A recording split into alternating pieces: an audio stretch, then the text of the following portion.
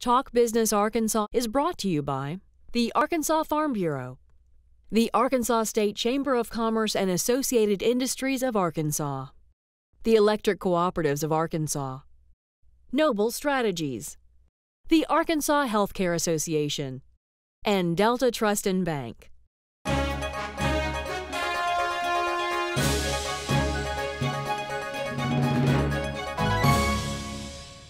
Joining me now is Charlie Daniels. He is the state auditor for the state of Arkansas. He has been the Secretary of State and the Commissioner of State Lands before, and he announced his retirement this week. Good to have you with us. Actually, I announced I wasn't going to seek reelection, and Ah. a lot of people thought I was retiring because it's that's the way the headline. But anyway, yes, I announced that I will retire after this term. That's what it is. Haven't What- retired yet. What? You're going to retire at the end of your term as state Yes, auditor, which is 15th. That's right. So, what's driving retirement for you? I would say that you've had a long and storied career, and it is time to retire at some point in life. It is. You know, I, I came to Little Rock and got in politics here with David Pryor in 1975. Served four years with him, two years uh, with Bill Clinton as governor. Then ran for land commissioner. Of course, 18 years there, eight years as Secretary of State. Now four years or two years actually with Auditor State. And uh, I think it's time for me to step aside, let someone else run, and see if they can do a good job. And uh, I'm proud of the accomplishments that we've made, and uh, it's been a full career for me. And uh, Let's go through some of the different offices, and I want to take them one at a time. Let's start with the Commissioner of State Lands. You were there for almost two decades. You helped automate that office, brought a lot of things up to speed. What are a couple of the highlights that you'd point to in that office that you're Well, proudest of? initially, it, was similar to some of the other offices, but uh, there was new legislation that passed that had never been implemented. And that legislation or that law called for us to send out notices to everyone, letting them know their uh, taxes were delinquent, their houses or whatever property to be sold after two years. Well, we only had one memory typewriter, and we had 18,000 parcels, so we hired uh, some summer kids, and about three or four that came in and helped us. We bought some word processors. It was a while before we had computers, but once we got computers, it was going well. But uh, so we only had seven individuals, and by the time we started having the land sales, it'd take three people going out. So I had to ask for additional people, and the legislature at that time was reluctant to get me five employees, but I think we proved that it was necessary because of the dollars we collected. And, you know, from $300,000 by the time I left, it, I think it was close to 16 million. I read 12 the other day, but 16 million dollars, and that money goes back to the county. So I think uh, by the time I left there, it was running smooth. We did some preservation work. I entered into agreement with the uh, Bureau of Land Management so that we could scan all of the old original patents, the documents. And the current land commissioners has proceeded along that line and has done a good job with the vault and some of those records. So I would commend him on the job that he's done. Let's move to the Secretary of State's office where you were there for eight years, some major renovations at the state capitol, and also just the implementation of a lot of new technology. Um, that was a huge undertaking. Well, it, it was a multitude of things. I had I had been in the state capitol all those years, and so I had preconceived ideas on what I wanted to see happen to the state capitol itself. I had my own ideas about the yards and the grounds and what I wanted to do. So I had an idea on that. Uh, in the meantime, uh, uh, Congress passed the Help America Vote Act, which called for drastic changes throughout this state. We had to work with all 75 counties and uh, make the tremendous changeover, and it was new for everybody, and it didn't come easy. That was all in the wake of the Bush Gore election in 2000 that called for all those election reforms. Exactly. Now, I am told that when it comes to the grounds of the Capitol, when you were Secretary of State, you might actually get out there and start plucking some weeds from the flower I- gardens, true? I walked the Capitol grounds every morning and every evening, and I guess one of the funniest things is I'd see where grass was died, and I'd call the person in charge, and he'd say, "Well, we it watered it for three hours last night." And I said, "Well, come on out here where I'm at," and I'd take my knife and stick it in the ground, and dust would fly.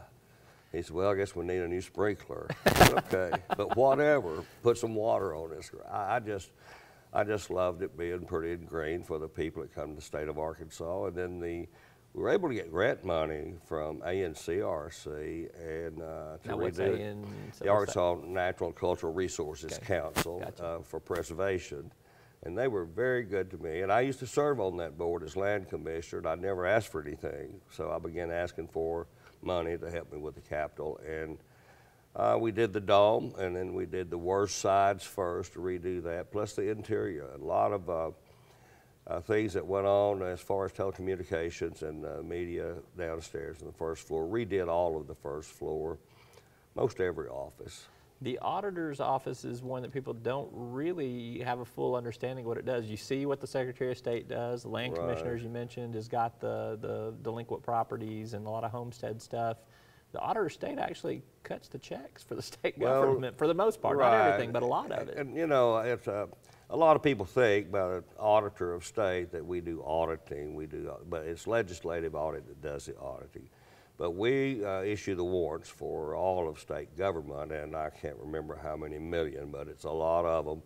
And uh, we, we, we don't just issue them uh, without having direct authorization from the issue, you know, the party that is responsible. But the other thing that a lot of people that we're trying to make people aware of and have been very successful, and uh, Janet's done a great job there with unclaimed Janet property. Harris, one of your Janet chief Harris. deputies, right? Yes, she's been my chief deputy uh, for a few years, and uh, she does a great job in the unclaimed property with, especially with e-filing. And you know, another it's another situation where we have states calling us, Arkansas, and not that we're bad, but we we're really uh, uh, in the in the lead on some of these renovations and innovations.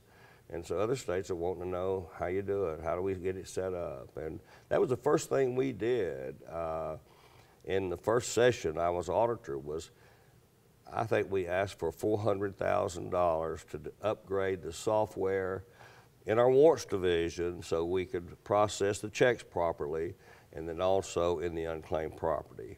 And that's where you guys do the great Arkansas treasure hunt. People can come find things that might be left in bank vaults or bank boxes, deposit boxes. And it's a lot of money. They're 170 million dollars throughout. You know. Yeah.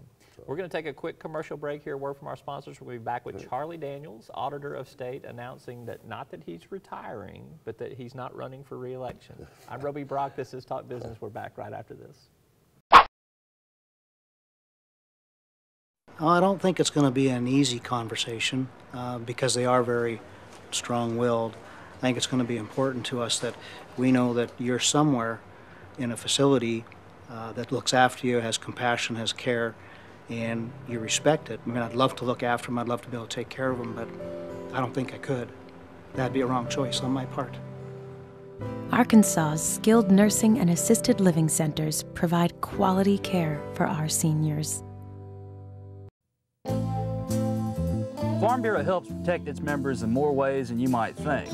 They've always been the voice of agriculture in Arkansas, working on behalf of folks like me when nobody else would. And Farm Bureau stands for the values that Arkansas families care about. They've protected my right to farm and make a living, which helps everybody who likes food on the table. You know what they say, Arkansas counts on agriculture, and agriculture counts on Farm Bureau. The Arkansas State Chamber of Commerce and Associated Industries of Arkansas. The State Chamber AIA is the leading voice for business at the state capitol and serves as the primary business advocate on all issues affecting Arkansas employers. Our mission is to promote a pro business, free enterprise agenda and prevent anti business legislation, regulations, and rules. Now more than ever, business matters. Learn more at arkansasstatechamber.com. I was looking for a bank that could best protect my finances. that shared my passion for my business's potential. A bank that offered investment expertise. lending support, insurance guidance, a bank that delivered full financial support. That's how I found True Balance. True balance. from my bank. From my bank. Delta Trust and Bank, the expertise to meet all your financial needs. One of the real advantages of electric cooperatives membership is having a voice in our state's energy future. Not a week goes by without important energy issues making headlines. These are issues that need to be discussed. And you should know that as policies are being developed, the cooperatives are looking out for our members, advocating what's best for you. We are your friends and neighbors. We are your local electric company. The Electric Cooperatives. We are, we are Arkansas. We're back now with Charlie Daniels. He is the auditor of state. He announced earlier this week that he will not seek reelection for a second term because he's going to go do what? Fishing? I'm, I'm going to basically retire at that point in time. I'm not going to run for another office.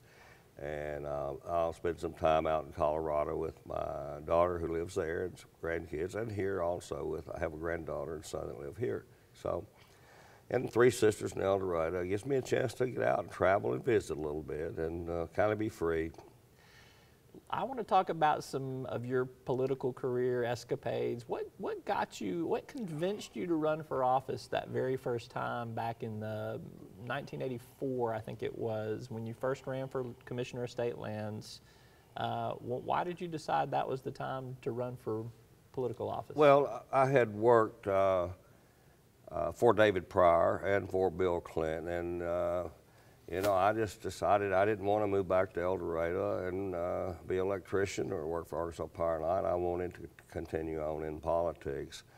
And uh, I enjoyed what I did, and I enjoyed meeting people, and uh, had a great time doing it. And that's the reason I ran. What was it like campaigning in those days? You know, now everything is very media centered in terms of, you know, commercials on TV. You still go around to a lot of these festivals, but I can remember working on a a documentary one time about Dale Bumpers' life, and it was, I looked back at the 1970 campaign, and, and in that campaign, it talked about the dwindling crowds at the courthouses. This was 1970, and they were complaining that two or 3,000 people were on the county courthouse lawns. I'm not sure you could get two or 3,000 people it, to it any would, courthouse it now. It would be difficult to do. You still have a big turnout. Uh, in on the Fourth of July parades in uh, eastern Arkansas at uh, uh Cornet, uh, Corning and Piggott. Right. And then Labor Day Parade and Rector. And then the Springdale Rodeo Parade is always a big one. It draws probably 10 or 15,000 people. Well, and what was cam campaign like, though, back in 1984? Well, I, I went to each uh, courthouse. I tried to work with the uh, courthouse people. And you make all the events, Pink Tomato Festival uh, and those types of events, pie suppers and usually it was a lot, most of the time it was just the uh, candidates there and the people selling the pies and, you know, you'd bid against each other. I, I, remember one of my first campaigns, when I was first elected, it was for two years. Mm-hmm. And then it became four years, and then they had term limits kicked in in 1994, I believe it was. Yeah. But, you know, I, you just kind of don't really love your opponent all that much, but you try to get along. But, uh, I was determined he wasn't going to buy a pie, so I'd bid it up. I know that's kind of awful, but you know, I felt that way at that uh-huh. time. Uh, I wasn't being mean; it was just fun. That's funny. I think they have reality TV shows about that kind of stuff now, Storage Wars or something like that, yeah. where they run the prices up on things. So, um, so you go around. I think in 1984, "The Devil Went Down to Georgia" was a pretty big hit yes. by a group called the Charlie Daniels yes. Band. That that had to not hurt. Yes, it, it didn't hurt, and actually, our my first campaign radio ad uh, had some fiddle music in from a person up in Mountain View, and it went like this: Charlie Daniels. That's a name everyone knows, but this Charlie Daniels doesn't fiddle around. This Charlie Daniels is running for state land commissioner. it was fun. It carried the day. Yeah. So, uh, give me some advice to maybe younger politicians that will watch this interview. You got to go to pink tomato festivals and pie suppers, as you mentioned, and there's a lot of stuff on the, the food circuit, basically. What's the secret to being a good candidate on the road like well, that? people get to know you uh, when you're out, and you get some one-on-one visitation. Uh, the crowds may not be as large as they once were, but there are some that really draw the crowds, and the Pink Tomato Festival draws a crowd. And I think you just are able to let people know that you're a real sincere person. I mean, you don't walk on water, you don't do these crazy things, but you are running for a public office and you care and you listen to those people. You need to hear them out. And then when you're elected, you need to continue to listen to the people and try to do the best job you can. Now, if you're elected to an office, then you have a responsibility to the people that elected you, but you also have a responsibility to do the best job you can, and they may not always understand the necessary need for additional person or uh, money for a computer or those types of things to make it better and, and, and it makes it more cost effective for them. So back to my Pink Tomato Festival yeah. example. You were telling me before we started recording here, the secret to some event like the Pink Tomato Festival is not eating as many pink tomatoes as fast as you can. It is what? Well, I'll tell you, my, my secret was uh, whether it's the Watermelon Festival mm -hmm. or the toma Pink Tomato Festival, you just, uh, one tomato would suffice me. Uh, I had never entered it before until uh, and Mike Huckabee, the governor, Governor Huckabee, was always entering. And whenever Janet Huckabee was running for Secretary of State, and I was too, uh, I saw her on the stage, and I thought I better get up there if she's going to be up there. And I got up and I signed up to eat tomatoes. And she said, "What are you doing? You signing up?" I said, "Yeah, I thought you were." She said, "No, I was just up here to cheer Mike on." so anyway, I, that was I ate some tomatoes. did but, you did you eat more than her? Uh, no, I didn't try to. I didn't try to. You were pacing yourself. You knew yeah, there were other campaign stops. Yeah, I don't eat all the try to eat the whole watermelon. I just eat what I think is good for you. You know. So. But Charlie Daniels, I appreciate you very hey, much. Thank you. It's been great to know you all these years, and I'm going to keep knowing you, obviously. But it's been great well, to work with you and cover you, you on the and at the Capitol. Appreciate what you do as far as letting people know what's taking place in the state of Arkansas, in the world of business and politics. So. Uh, that's an endorsement we'll take to the bank. Charlie Daniels is the Auditor of State. Thank you very much for being here. I'm Thank Roby Brock. You can keep up with the latest business and political news each and every day at our website, talkbusiness.net or talkbusinessarkansas.com. I'm Roby Brock. We'll see you next time.